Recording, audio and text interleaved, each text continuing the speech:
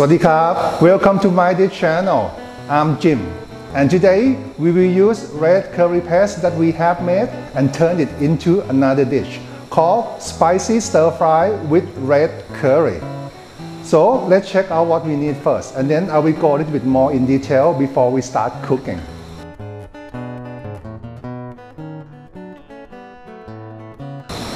For the meat, right? Basically, you can use any type of meat, alright? Chicken, beef, lamb, but for me, pork is the best. Today I use pork belly, you know, with a little bit of fat in layers, or it's so yum.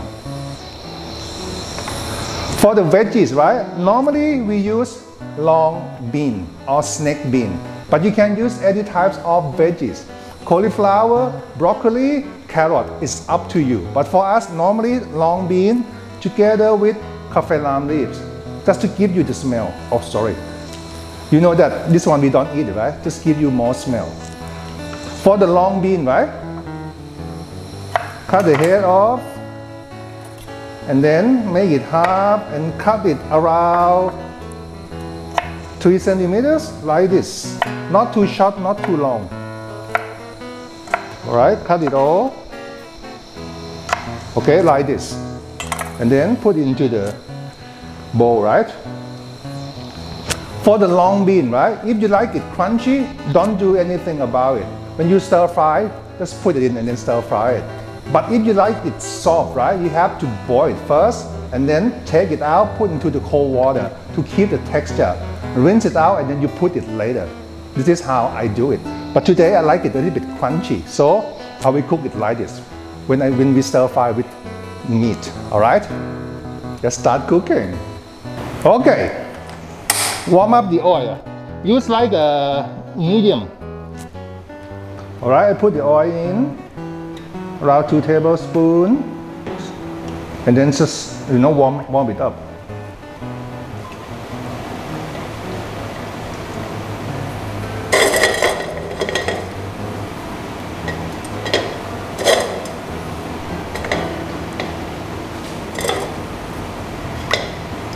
And then you put red curry paste in.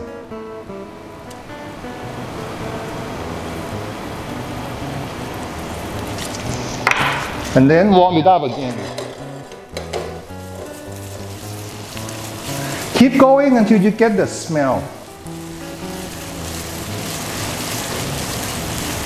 Mm. Oh, smells so good.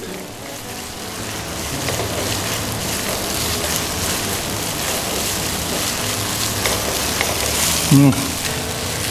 Yes, and then you put meat in. Today I use pork, right? So put it in and keep cooking. Mix it with the red curry paste.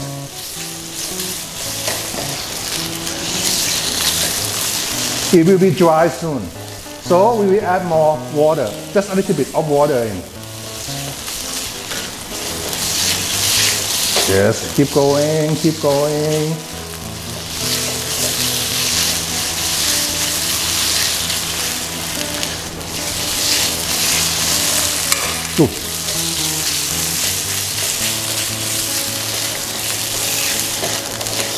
Yes, a little bit of water. Yes, otherwise burn. Yes. Keep going until the pork is nearly cooked. How long? I don't know. It's up to you. You know the way you cut it, how thick it is. Yes. Keep going. Uh, oh, smells so yum. Woo.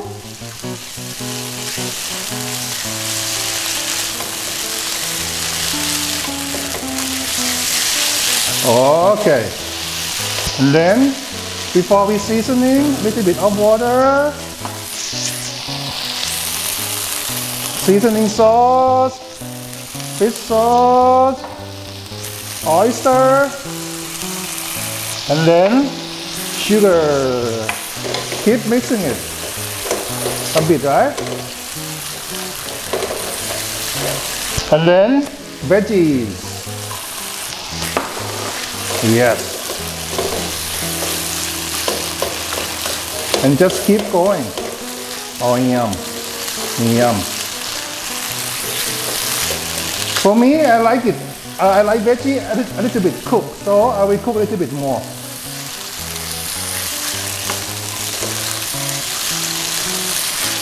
Yep. Ooh. Oh, the, the pork will prep so good. Yes. Yes.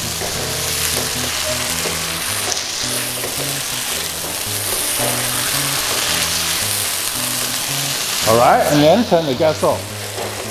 Yeah. Woo. And then kaffir lime. Not too small, remember? Because we don't want to eat it. Just give you the smell. Add more smell. Mix it a little bit. Oh, smells so good. Yes. Mm.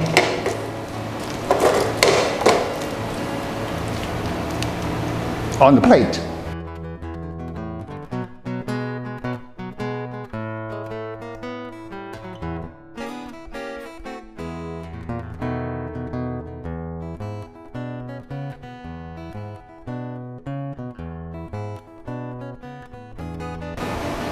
Okay, pretty easy, right?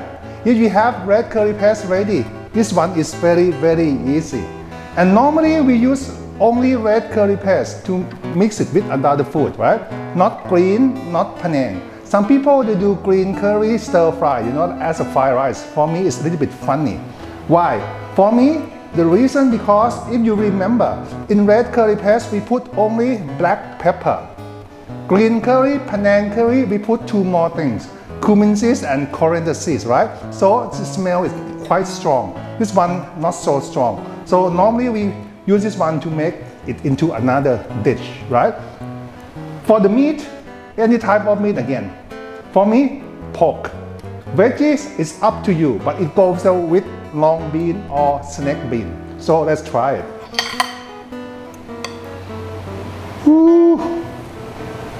Uh-huh. Mm. Oh yum. Mm.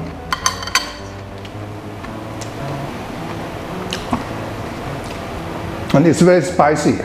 So when you put in uh, curry paste, know your limit, right?